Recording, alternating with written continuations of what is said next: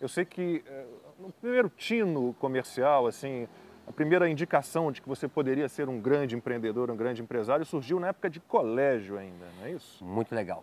Eu sempre fui o líder de classe nas, nas salas. Né? Então, líder de classe, o Luciano. Presidente do Centro Cívico, faz eleição secreta, o Luciano. E aí eu ganhei para Centro Cívico com 12 anos de idade.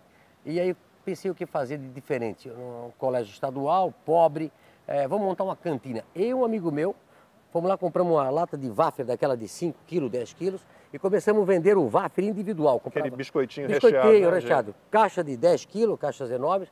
Começamos a, a, montar uma cantina. Em um mês já tinha combis vendendo lá biscoito, foi um sucesso.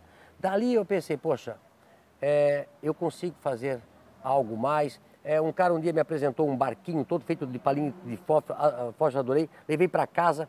Aquela noite comecei a cortar, comecei a fazer aqueles barquinhos para vender. Eu vendi carro, vendi vaca, eu vendi, já tive de tudo na vida. Tive bar, tive restaurante, tive fábrica, tinturaria, malharia, é, tudo já tive.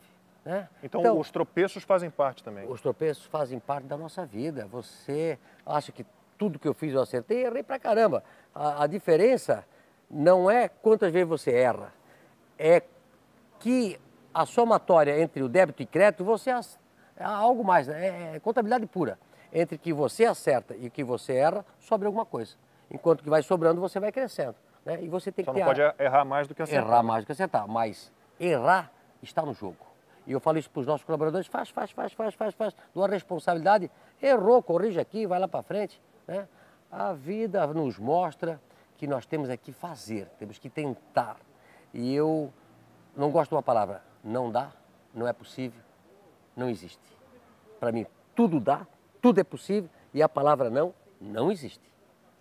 Vamos tentar lembrar um pouquinho como é que foram os seus primeiros passos aqui nessa fábrica, antes de você passar para venda, né, para trabalhar diretamente com venda, que acho que é o teu grande negócio. Que é o meu negócio. O que, que você fazia aqui? Ah, eu trabalhava na expedição, né, comecei ali com 17 anos. Era o que? Era despachando produtos? Era fazendo nota fiscal.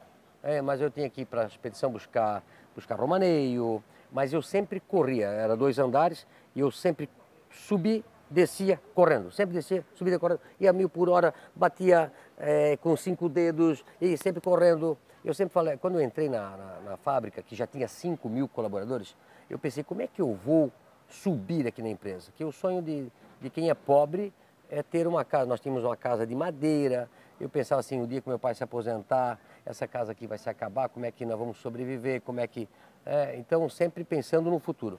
É, eu não vou conversar, eu vou eu vou trabalhar, eu não vou subir a escada devagar, eu vou correr. E aqui eu consegui ver com que o meu gerente me visse e disse, Luciano, você é muito bom para ficar aqui.